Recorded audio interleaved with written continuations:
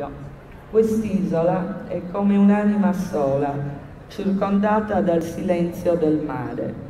Apre i porti ma non le montagne e chi arriva vorrebbe capire se un'isola dove gli uomini vivono o soltanto aspettano che scenda la sera per uscire di casa o affacciarsi a un balcone.